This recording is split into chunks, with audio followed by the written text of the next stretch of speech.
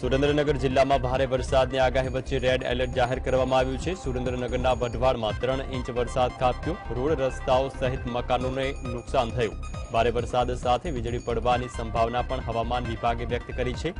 તો જિલ્લાનું ત્રિવેણી ઠાગા dam overflow થતા નીચાણવાળા વિસ્તારોમાં તંત્રએ ન જવા સૂચના અપાઈ છે.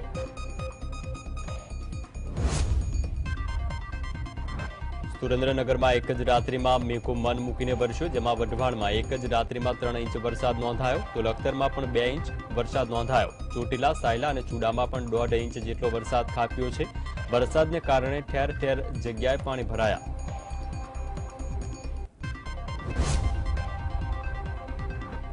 ધોધમાર વરસાદને પગલે નડિયાદ શહેરમાં શ્રેયસ રેલવે અંડરબ્રિજમાં વરસાદી પાણી ભરાતા ત્યાંથી પસાર થઈ રહેલી કાર એકાએક પાણીમાં ફસાઈ જે ચાર વ્યક્તિઓ સવાર હતા. આ પૈકી એક વ્યક્તિ કારમાં ફસાયો. તો કાર ફસાઈ હોવાની જાણ થતાં નડિયાદ ફાયર બ્રિગેડ ઘટના સ્થળે પહોંચી હતી અને સ્થળ પર પહોંચી દોરડાની મદદથી પાણીમાં ફસાયેલી કાર અને કારમાં સવાર વ્યક્તિનું રેસ્ક્યુ કરવામાં આવ્યું.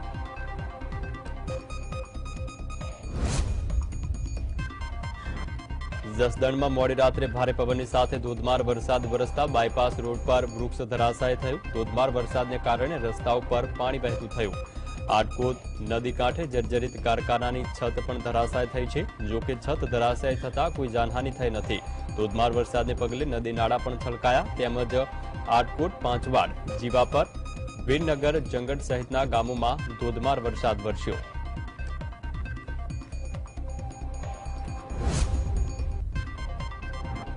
મહેસાણામાં ગત રાત્રે મેઘરાજાએ તોફાની બેટિંગ કરી, જ્યાં મહેસાણામાં સૌથી વધુ સત્તાવન મીમી વરસાદ ખાબક્યો છે. ભારે વરસાદને કારણે જિલ્લામાં અનેક નીચાણવાળા વિસ્તારોમાં પાણી ભરાયા હતા.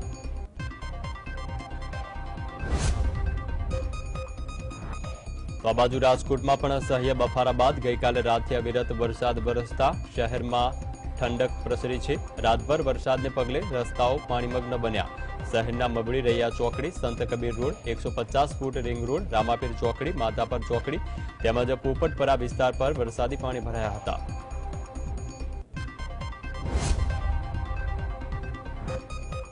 રાજકોટના ધોરાજી પંથકમાં વહેલી સવારથી ભારે પવન સાથે ધોધમાર વરસાદ વરસ્યો ધોરાજીમાં બે દિવસના વિરામ બાદ મેઘરાજાએ ફરી એન્ટ્રી કરી જેથી વાતાવરણમાં ઠંડક પ્રસરી છે ધોધમાર વરસાદને કારણે શહેરના મુખ્ય રસ્તા પર પાણી ભરાયા હતા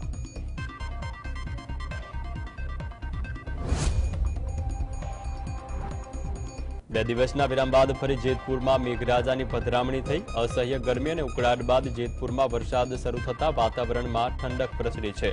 વહેલી સવારથી જ જેતપુર પંથકમાં વરસાદ શરૂ થયો હતો. પીઠળિયા, રબારિકા, જેતલસર, સાંકડી, ડેડરવા, પીપળવા સહિતના ગ્રામ્ય વિસ્તારમાં પણ વરસાદ નોંધાયો છે.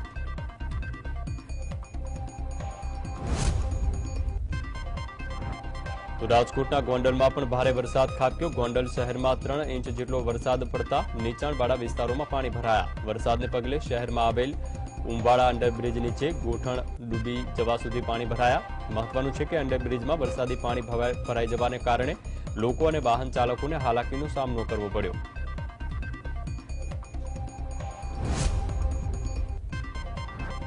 અરવલ્લી જિલ્લામાં પણ સાર્વત્રિક વરસાદ વરસ્યો છે જિલ્લાના મોડાસા મેઘરજ ભીલોડા અને માલપુરમાં વધુ વરસાદ ખાબક્યો વરસાદથી ખેતરોમાં પાણી ભરાયા ભારે વરસાદને કારણે મોડાસાના ખેતરો બેટમાં ફેરવાયા છે ખેતરોમાં પાણી ફરી વળતા મગફળી સોયાબીન મરચા અને ફ્લાવરના પાકને વ્યાપક માત્રામાં નુકસાન પહોંચ્યું છે તો નુકસાની અંગે વળતર આપવા ખેડૂતોએ માંગ કરી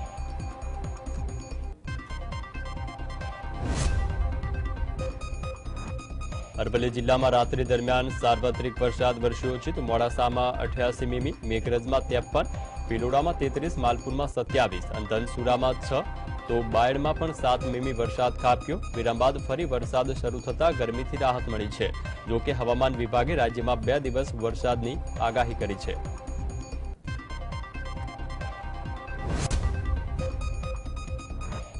અરવલ્લી જિલ્લામાં ભારે વરસાદને કારણે મોડાસા નજીક જીવનપુરથી ગળાદરનો રસ્તો બંધ થતા લોકોને હાલાકી પડી મહત્વનું છે કે મણિપુર કંપા નજીક પુલનું કામ શરૂ થયું છે પરંતુ તેને પણ ડાયવર્ઝન અપાતા ત્યાં પાણી ભરાયા છે જેના કારણે રસ્તો બંધ કરતા દસથી વધુ ગામના લોકો અટવાયા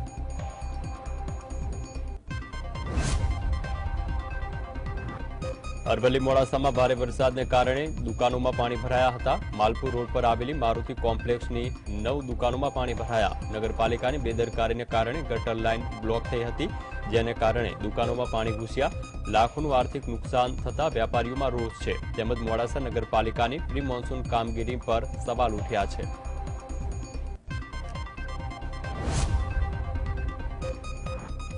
તો ભાવનગરમાં ફરી વરસાદી માહોલ જામ્યો છે વહેલી સવારથી જ ભાવનગર શહેરમાં ધીમી ધારે વરસાદ શરૂ થયો લગભગ બે કલાક કરતા વધુ વરસાદ વરસતા બફારાથી આંશિક રાહત મળી છે જો કે સતત વરસાદને કારણે કાળિયાબીટ ભાંગલી ગેટ કુંભારવાડા સહિતના નીચાણવાળા વિસ્તારોમાં પાણી ભરાયા હતા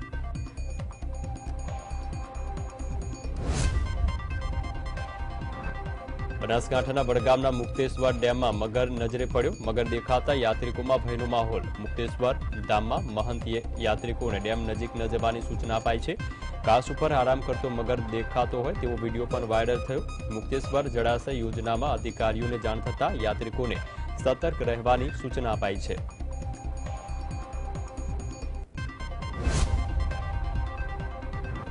સૌરાષ્ટ્રનો સૌથી લો- મોટો લોકમેળો પાંચ સપ્ટેમ્બરથી નવ સપ્ટેમ્બર સુધી યોજાશે ચાલુ વર્ષે મેળામાં રાઇડ્સ માલિકોને રજૂઆતના પગલે નાની ચકરડીના ભાવ વીસને બદલે ત્રીસ રૂપિયા કરાયા છે જ્યારે મોટી રાઇડ્સના ભાવ ત્રીસ રૂપિયાથી ચાલીસ રૂપિયા કરાયા છે લોકમેળામાં રૂપિયા ચાર કરોડનો વીમો પણ લેવાયો છે વર્ષ બે હજાર ત્રણથી રાજકોટના રેસકોર્સ મેદાન ખાતે આ મેળો યોજાય છે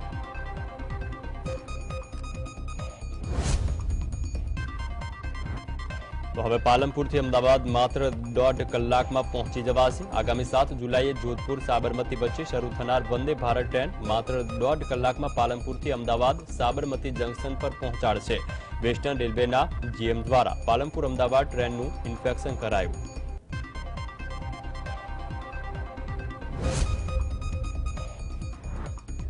પાટણમાં પણ પ્રધાનમંત્રી આવાસ યોજના શહેરી અને ગ્રામીણ અંતર્ગત મકાનો બને છે ત્યારે હારીજ નગરપાલિકા વિસ્તારમાં વાદી વસાહતમાં એક રૂમમાં મકાનો તૈયાર કરાયા પરંતુ આ મકાનોની ગુણવત્તા સામે પ્રશ્ન ઉભા થયા છે હારીજમાં છેલ્લા દસ વર્ષથી અંદાજે ચાર હજાર વાદી વસાહતના લોકો વસવાટ કરે છે જેઓને એક રૂમમાં પાકું મકાન અપાયું છે મકાનો બનાવી આપ્યા છે પરંતુ પ્રાથમિક પાયાની સુવિધાઓ એટલે કે શૌચાલય બાથરૂમ પાણી નિકાલ માટે કનેક્શન અપાયા નથી અંદાજે બસો મકાનો બનીને તૈયાર પડ્યા છે. હજુ એકસો આઠ મકાનોની જરૂરિયાત છે.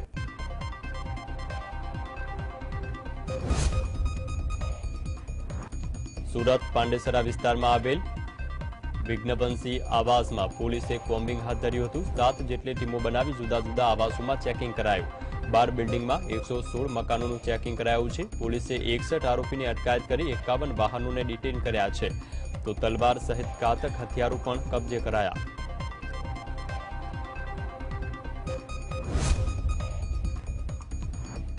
નવસારી શહેરની જિલ્લા પંચાયત શિક્ષણ સમિતિ છાપરા ગામની શાળામાં વાલીઓ અને શિક્ષકો વચ્ચે માથાકૂટ થઈ શિક્ષકોના આશ્ચર્ય સામે ત્રણ મહિલા મહિના પહેલા જે છેડતીનો આરોપ મૂકી બદલી કરાય તેવી શિક્ષકોએ ફરીથી શાળામાં આવતા વાલીઓએ વિરોધ કર્યો છાપરા પ્રાથમિક શાળામાં છસો થી વધુ વિદ્યાર્થીઓ ભણે છે બસો વિદ્યાર્થીઓ હજુ પ્રવેશની રાહ જુએ છે. આંતરિક ઝઘડામાં વિદ્યાર્થીઓનું ભવિષ્ય ન બગડે તેનું ધ્યાન રાખી શિક્ષકોએ અન્ય જગ્યાએ ખસેડવાની માંગ કરી.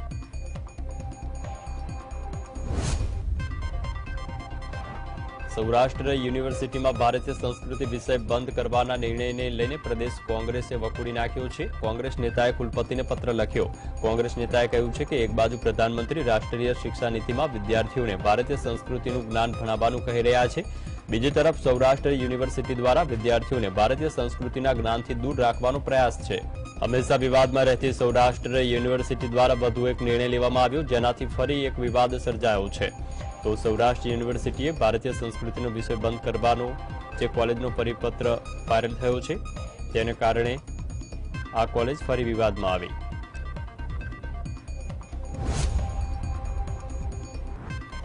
રાજકોટમાં ભાજપના મહિલા કોર્પોરેટરના પતિએ પોતાની કોર્પોરેટર તરીકે ઓળખ આપવી ભારે પડી છે.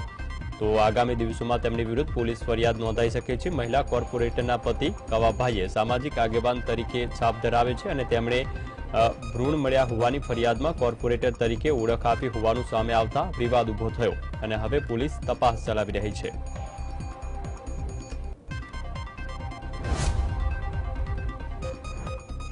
ગોંડલ તાલુકાના પુણવા ગામે બે પરપ્રાંતીય બાળકોને વીજ કરંટ લાગ્યો હતો પુણાવાના જયંતિભાઈ વોરાની વાડીએ રહેતા બે બાળકોને વીજ કરંટ લાગ્યો હતો જેમાં એક બાળકનું તાત્કાલિક ઘટના સ્થળે જે મોત થયું ત્યારે એક બાળક ઇજાગ્રસ્ત થયો હતો વાડી માલિકે મૃત અને ઇજાગ્રસ્ત બંને બાળકોને ગોંડલ સરકારી હોસ્પિટલ ખસેડ્યા હતા તો તેમજ ગોંડલ તાલુકા પોલીસે પણ હોસ્પિટલ પહોંચી હતી અને આગળની તપાસ શરૂ કરી હતી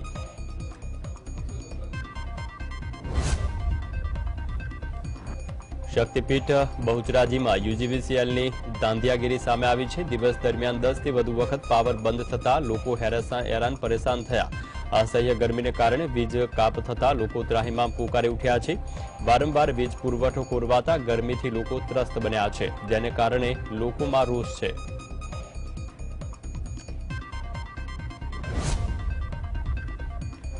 શક્તિપીઠ બહુજરાજી મંદિરની હાઇટ વધારવાના નિર્ણય શ્રદ્ધાળુઓએ આવકાર્યો છે. બહુજરાજી મંદિરમાં હાઇટ વધારવા મુદ્દે ત્રીજી વખત ઘોષણાથી શ્રદ્ધાળુઓમાં ખુશી જોવા મળી. આ અંગે પ્રથમ જાહેરાત છ સપ્ટેમ્બર બે હજાર બાવીસના રોજ છપ્પન ફૂટ, જે બાદ બીજી જાહેરાત સાત માર્ચ બે હજાર ત્રેવીસના રોજ એકોતેર પોઈન્ટ પાંચ ફૂટની કરાઈ હતી અને હવે ત્રીજી જાહેરાત પાંચ જુલાઈ બે હજાર ત્રેવીસના રોજ છ્યાસી પોઈન્ટ એક ફૂટની કરવામાં આવી છે.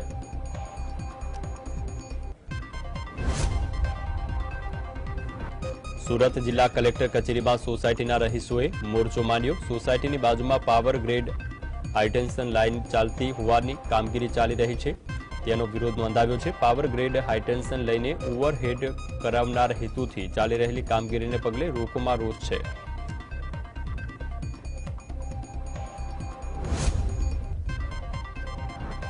તો રાજ્યમાં મહેન્દ્ર પાડલિયા વિરુદ્ધ પોસ્ટર લાગ્યા બાદ તંત્રએ જાગીને રસ્તા પર ખાડા પૂરવાની કામગીરી શરૂ કરી ઉબડખાબડ રસ્તાથી ત્રાહિમામ પ્રજાજનોએ ધારાસભ્ય મહેન્દ્ર પાડલિયા વિરુદ્ધ પોસ્ટર લગાવ્યા હતા ધોરાજીના ઉબડખાબડ રસ્તા બાબતે મીડિયામાં અહેવાલ પ્રસારિત થયો હતો ત્યારે ધોરાજીના મુખ્ય માર્ગો પર તાત્કાલિક ખાડા પૂરવાની કામગીરી શરૂ કરાઈ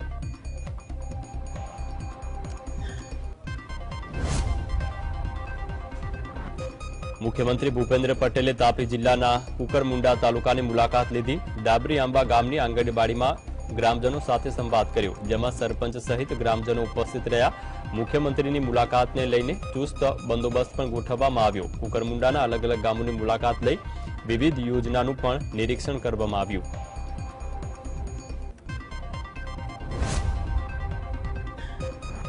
મુખ્યમંત્રી ભૂપેન્દ્ર પટેલે મોડી રાત્રે જાવલી ગામની મુલાકાત લીધી જેમાં આદિવાસી લોકો સાથે તેમને વાર્તાલાપ પણ કર્યો જ્યાં ભૂપેન્દ્ર પટેલનું ભવ્ય સ્વાગત કરવામાં આવ્યું તો ભૂપેન્દ્ર પટેલે આંગણવાડી પ્રાથમિક શાળા હેલ્થ એન્ડ વેલનેસ સેન્ટર તેમજ ખેડૂતોના ખેતરની પણ મુલાકાત લીધી મુખ્યમંત્રીએ રાત્રિ ભોજન પણ ત્યાં કર્યું હતું મુખ્યમંત્રી દ્વારા ગ્રામસભા યોજવામાં આવી હતી જેમાં વિવિધ પ્રશ્નો અંગે ચર્ચા કરાઈ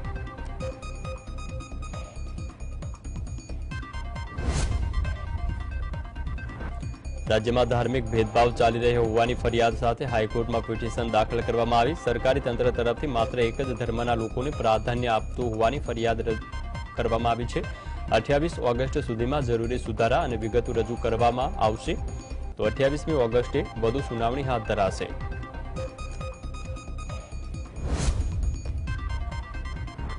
ભાવનગર એસઓજીની ટીમે જુદી જુદી બે જગ્યાએથી ડિગ્રી વગરના ડોક્ટરને ઝડપી પાડ્યા છે. ભાવનગર નજીકના કમલેજ ગામેથી મદીનભાઈ મકવાણા નામના ઈસમને ઝડપી પાડ્યો બીજી તરફ ભાવનગરના ચિત્રા સિદ્ધસર રોડ ઉપરથી બોગસ ડોક્ટર દિનેશભાઈ ભોજાણી નામના શખ્સની ઝડપ ધરપકડ કરી છે કોઈપણ પ્રકારની ડિગ્રી ન હોવા છતાં લોકોના આરોગ્ય સાથે ચેડા કરતા હતા પોલીસે તેમની પાસેથી દવાઓ અને મેડિકલના સાધનો પણ જપ્ત કર્યા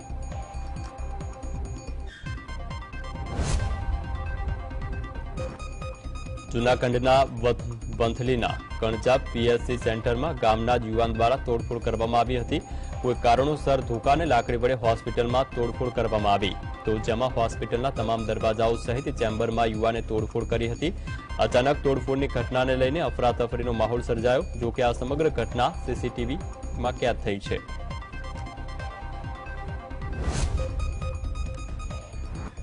ભાવનગરના ચકચારી તોડકાંડ કેસમાં યુવરાજસિંહના શાળા શિવબા ગોહિલના જામીન મંજૂર થયા હતા યુવરાજસિંહના શાળા શિવબા ગોહિલ વિરુદ્ધ નીલમબાગ પોલીસ મથકમાં એક કરોડ રૂપિયાના તોડકાંડમાં સંડોવણી હોવાની ફરિયાદ દાખલ કરાઈ હતી ત્યારે ભાવનગર પોલીસે તોડકાંડ પ્રકરણમાં કુલ છ શખ્સો વિરુદ્ધ ગુનો દાખલ કર્યો જેમાં અત્યાર સુધીમાં પાંચ લોકોના જામીન મંજૂર થયા છે ભાવનગર કોર્ટે શિવભા ગોહિલના શરતી જામીન મંજૂર કર્યા છે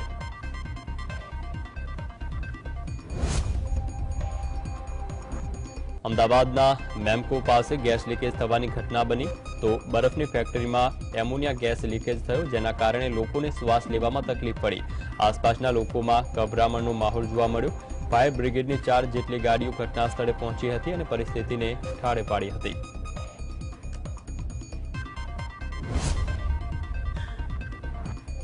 ભાભરના હોલસેલ શાકભાજીના વેપારીને આંખમાં મરચું નાખી લૂંટવાનો પ્રયાસ કરવામાં આવ્યો વેપારીએ ભાભરના જાસનવાડા ગામમાં જે પાટિયા પાસે બમ્પ આવતા કાર ધીમી કરી હતી જો કે આ સમયે બાઇક ઉપર આવેલા શખ્સોએ વેપારીને આંખમાં મરચું નાખી લૂંટનો પ્રયાસ કર્યો તો વેપારીએ સમય સૂચકતા વાપરી ગાડી નજીકમાં આવેલી ચાની કેટલી પાસે લઈ ગયા પોલીસે અજાણ્યા શખ્સો સામે સીસીટીવી ચેક કરીને કાર્યવાહી હાથ ધરી છે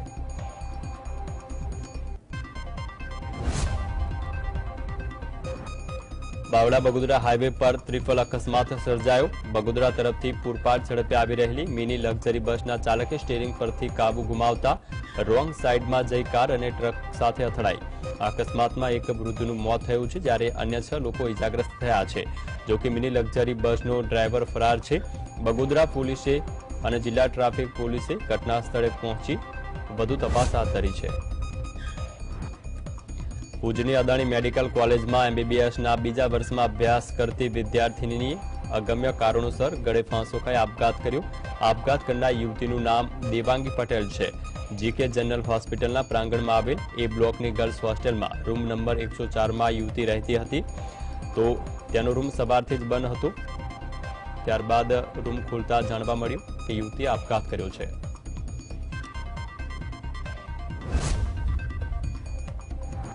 સુરતના મોટા બરાછા વિસ્તારમાં ધોળા દિવસે વેપારીના અપહરણની ઘટના સામે આવી. અઢી કરોડની લેતી દેતી મામલે વેપારીનું જે પાનના ગલ્લેથી અપહરણ કરવામાં આવ્યું. અપહરણની સમગ્ર ઘટના સીસીટીવીમાં કેદ થઈ છે. આ મામલે પોલીસે મોડી રાત્રે વેપારીને છોડાવીને બે ઈસમોને ઝડપી પાડ્યા.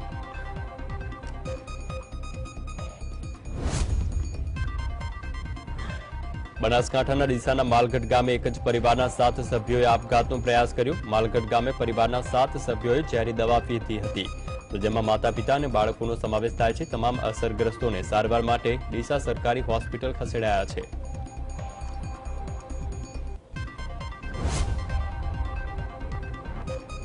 ગીર સોમનાથના તલાલાના જસાપુર ગામે યુવતીની કરણપીણ હત્યા કરવામાં આવી ગામના સ્મશાન ગૃહમાં યુવકનો લોહીથી લથપથ મૃતદેહ મળી આવ્યો તલાલા પોલીસે ગણતરીના કલાકોમાં જ આરોપીને ઝડપી પાડ્યો છે યુવક રાસુલપરાનો અક્રમ ઉર્ફે સુસો હોવાનું સામે આવ્યું પૈસાને લેતી દેતી બાબતે યુવકની હત્યા કરવામાં આવી છે તેવું પોલીસ તપાસમાં સામે આવ્યું રાજકોટ રૈયા ટેલિફોન એક્સચેન્જ પાસે બાઇક ચાલકનો જે ધક્કો માર્યો હતો બાઇકે રોકવાના બદલે ચાલુ બાઇકમાં ધક્કા મારતા ટ્રાફિક પોલીસે દાદાગીરી કરી હોવાનું સામે આવ્યું, જેમાં બાઇક ચાલક કાર સાથે અથડાયો હતો. પરિવાર સાથે બાઇક ચાલક કાર સાથે અથડાતા ઇજાગ્રસ્ત થયો. બાઇક ચાલકનો જીવ જોખમમાં મૂકી ધક્કો મારતા ટ્રાફિક વોર્ડ સામે ગાંધીગ્રામ પોલીસ સ્ટેશનમાં ગુનો દાખલ થયો છે. છોટાઉદેપુરની કલેક્ટર કચેરીમાં એક કારમાં એસીબીએ રાત્રે એક વાગ્યે સર્ચ કર્યું હતું. ટોલ ફ્રી નંબર ઉપર ફરિયાદ બાદ છોટાઉદેપુર એસીબીએ કાર્યવાહી કરી. આ કાર કલેક્ટર કચેરીના ઇન્ચાર્જ અધિકારીની હોવાનું સામે આવ્યું છે. તો છોટાઉદેપુર કલેક્ટર કચેરીમાં ભ્રષ્ટાચાર થતો હોવાનું સાંસદનો પત્ર સામે આવ્યા બાદ એસીબીના સર્ચથી અધિકારીઓમાં ખળભળાટ છે.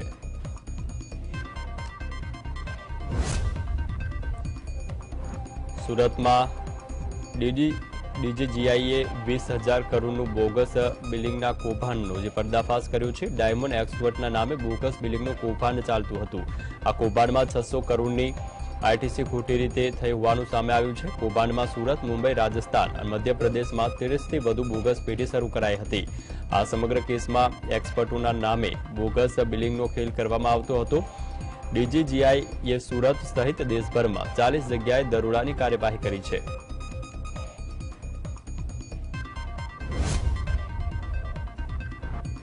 સુરતના અમરોલી વિસ્તારમાં વધુ એક પચીસ વર્ષીય યુવકનું મોત નીપજ્યું છે. મયંક બિપિન પટેલ નામના યુવકનું છાતીમાં દુખાવો થતા શંકાસ્પદ મોત થયું છે. છાતીમાં દુખાવો થયો બાદ યુવકને હોસ્પિટલ ખસેડાયો, જ્યાં તેને મૃત જાહેર કરાયો. મહત્વનું છે કે હાર્ટ એટેક આવ્યો હોવાનું પ્રાથમિક તારણ ઘટાયું છે.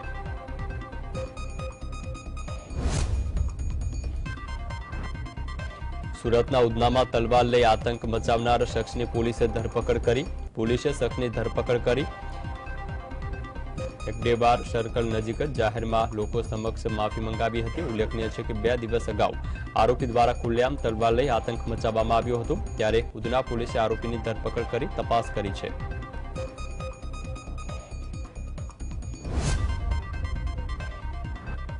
બારડોલીના રૂવા ભમરપુર ગામમાં રાત્રિ દરમિયાન ઠગ ટોળકીને ઝડપી માર માર્યો હતો. ઠગ ટોળકી સરકારી યોજનાના નામે અનેક ગામડાઓમાં ખેલ કરી ચૂકી છે. પ્રધાનમંત્રી વીમા યોજનાના નામે મૃતકોના પુરાવા લઈ વીમો પાસ કરાવી છેતરપિંડી આચરતા હતા. રાત્રે દરમિયાન ગ્રામજનોને ઠગ ટોળકીને ઝડપી પાડી, જે બાદ ત્રણેય શખ્સોને મેથી પાક ચકાડવામાં આવ્યો.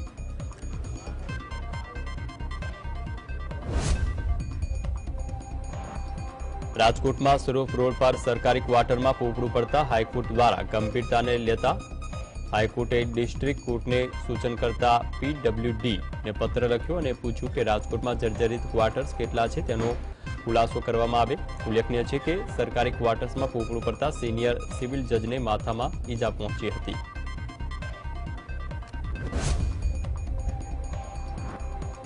રાજકોટના કિસાનપરા ચોક પાસે આવેલ શીતલ એપાર્ટમેન્ટમાં પાંચમા માળે આવેલ જૈન સમાજના શ્રીમદ રાજચંદ્ર પ્રેમ મંદિરમાં આગ લાગી હતી આગ લાગવાથી લાખોનું નુકસાન થયું હોવાની આશંકા છે તો ફાયર બ્રિગેડ દ્વારા ભારે જહેમત બાદ આગને કાબૂમાં લેવાઈ આગથી કોઈ જાનહાનિના સમાચાર નથી